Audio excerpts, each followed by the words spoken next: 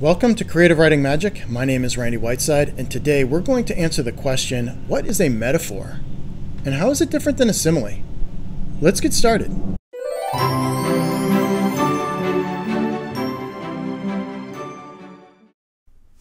So, a metaphor is considered a literary device.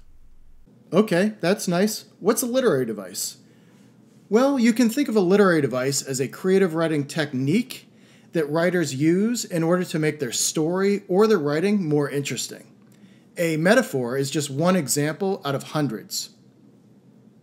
Point number two a metaphor is an implied comparison between two unrelated things, people, objects, animals, you name it.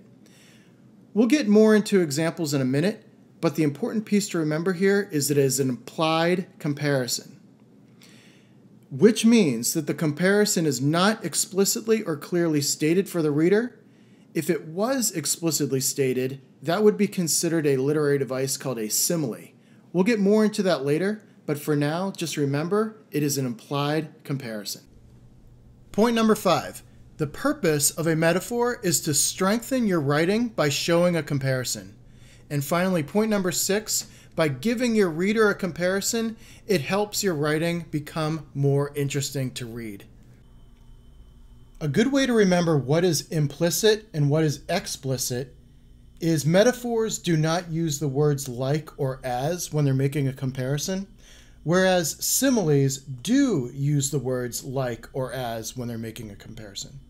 We'll get more into this in the examples next. Okay, now that we've covered the definition, let's get into the fun part metaphor examples. Let's see if you remember. Fill in the blank. A metaphor is a blank comparison. I'll wait. That's right, an implied comparison. Since it's implied, we cannot use the words like or as when we do our comparison.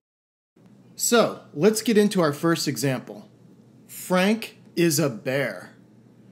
This is a metaphor that immediately gives the reader an image of Frank in their mind. He is probably a big guy, and he may or may not be extremely hairy.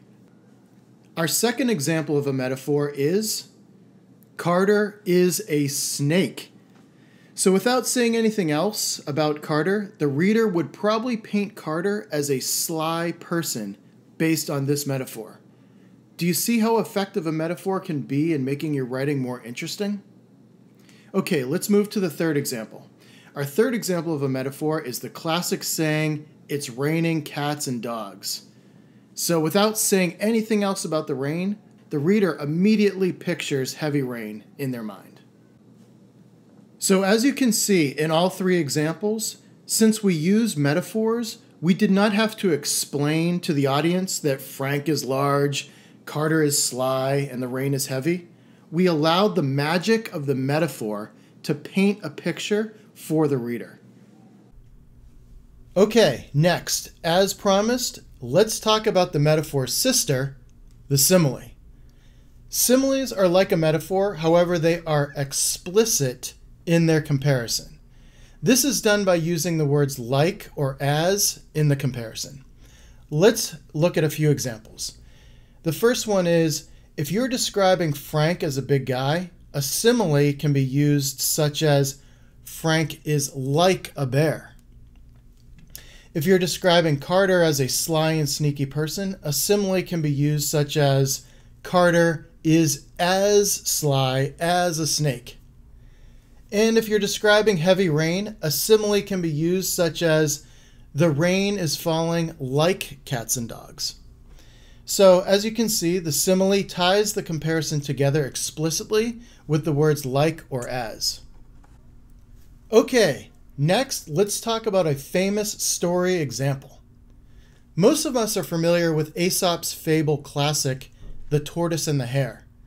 The story itself could be considered an allegory, but that's another topic for another video. Let's take a look at the individual characters in this story. So as the story goes, one day, a hare made fun of a tortoise for his slow pace, and the hare boasted about his own great speed in running. Upset by his boasting, the tortoise challenged the hare to a race. At first, the hare raced ahead, and then the hare decided since he was so far ahead, he would just simply take a nap. Meanwhile, the tortoise continued to plod along. When the hare woke up, he noticed that the tortoise had finished and won the race. Aesop was able to teach the old adage, slow and steady wins the race, through these beautiful characters using metaphors. In the story, the hare would be seen as a metaphor for a person who is overconfident and assumes, while the tortoise could be seen as a metaphor for someone who perseveres without being distracted. So, do you notice how Aesop used these animals to imply these comparisons?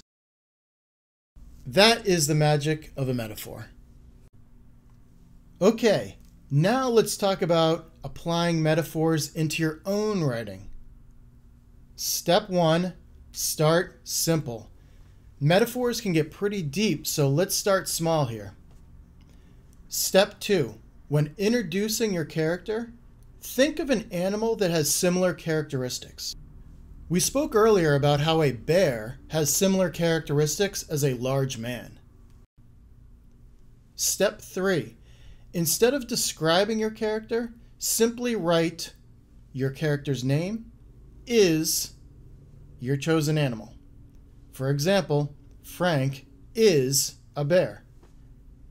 And as a reminder, do not use the words like or as. If you do, that would be considered a simile. Okay, well, great. Congratulations. You are now a metaphor writer. As you get comfortable with writing metaphors, you can build an entire story using them. So now that you're a metaphor writer, I'd like to hear from you. If you like, feel free to share your metaphors that you just wrote in the comments below. Thanks for watching. If you like this video, let me know by giving the video a thumbs up. If you think others would like it, please share. If you'd like to see more of these videos, click subscribe and then click on the notification button. And as always, remember, magic lives in your imagination. I'll see you in the next video.